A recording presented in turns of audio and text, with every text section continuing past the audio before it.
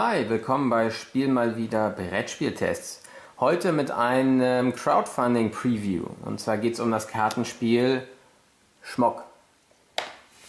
Das ist ein ja, ziemlich einfaches Kartenspiel. Du kannst auf jeden Fall schon mit Kids 6, 7 Jahren, die können äh, gut mitspielen äh, in etwas größeren Runden macht Laune. Drei, vier, fünf Spieler äh, würde ich, würd ich dir schon empfehlen. Und es beruht auf einem ganz simplen Spielprinzip oder eigentlich sogar auf zwei Spielprinzipien, die du vielleicht kennst.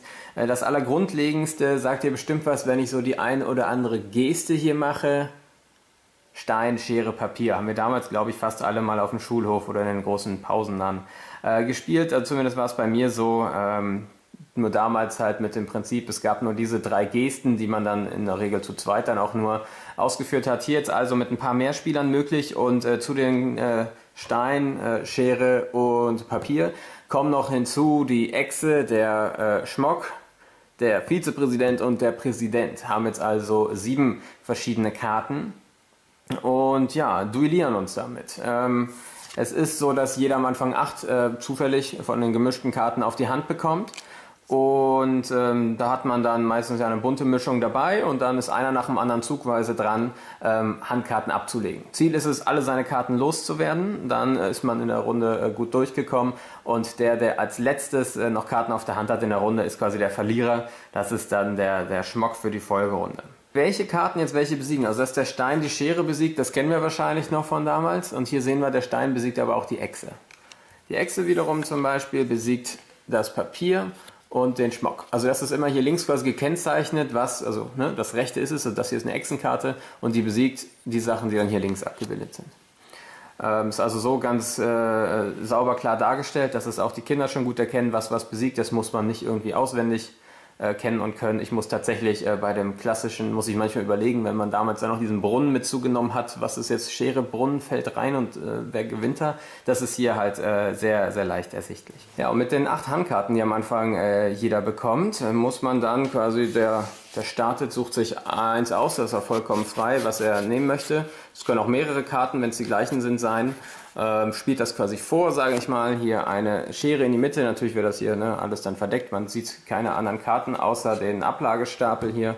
Und jetzt muss der nächste äh, Zugreihenfolge, mein linker Spielnachbar, ähm, entweder passen, wenn er nicht kann oder möchte, oder sonst äh, die Schere besiegen mit entweder einer Echse oder einem Papier. Hätte ich jetzt direkt äh, mehrere ausgespielt, hier weiß ich nicht, zwei Vizepräsidenten, dann hätte jetzt auch mein äh, linker Nachbar auch direkt zwei Karten spielen müssen, um quasi ihn zweimal zu besiegen äh, mit, der, mit der gleichen Karte, die den Vizepräsidenten besiegt. Ja, und so geht das dann reihum. Ne? Wenn ähm, alle gepasst haben, dann kriegt derjenige, der dir zuletzt äh, diese quasi die obersten Karten gespielt hat, legt die einfach an die Seite ab und der darf dann neu rauskommen, die nächsten, nächste Karte anspielen und so geht's dann Stück für Stück äh, reihum weiter. Ja, es ist, äh, wie gesagt, ein Crowdfunding-Projekt. Das geht jetzt bald. Also wir haben äh, jetzt quasi Juni 2020 äh, an den Start bei äh, Kickstarter, der wohl weltweit größten Crowdfunding-Plattform. Und äh, ja, wird sich natürlich über Unterstützung freuen. Wenn es was für dich ist, kannst du da äh, mitmachen. Ähm, es ist äh, aus Deutschland, wird auch in Deutschland äh, produziert. das hier ist jetzt noch ein bisschen ja, Prototypmaterial, also das hier ist ne, einfach von mir ausgedruckt, die Spielregel. Das wird dann natürlich alles noch ein bisschen schicker und feiner. Und ähm, ja, wie so häufig beim äh, Crowdfunding-Projekt hast du das natürlich so ein bisschen auch mit in deiner Hand, was dann am Ende genau dabei rauskommt. Ähm, vielleicht noch ein bisschen was zum Spielablauf. Hier ist noch so, wenn die erste Runde äh, gespielt ist, dann ähm, der Schmock wurde ja bestimmt, der Verlierer der Runde, der hat einen Einfluss auf die Folgerunde. Da tauscht dann quasi der Verlierer mit dem Gewinner, dem Präsidenten dann der letzten Runde, der zuerst alle Karten losgeworden ist, einen Teil ihrer Karten. Wenn du ab äh, vier Spielern spielst, tauscht auch noch der zweite mit dem vorletzten ein paar Karten für die Folgerunden. Und so kann man das im Prinzip so lange spielen, wie man möchte, oder man einigt sich einfach darauf, dass man äh, bis x Gewinnerrunden oder so spielen möchte, so da ist man ziemlich frei, so wie es einem gerade beliebt. Das ist also Schmock, ein Kartenspiel, ähm, ja, ein schönes, feines, kleines, was man immer gut mal mitnehmen kann.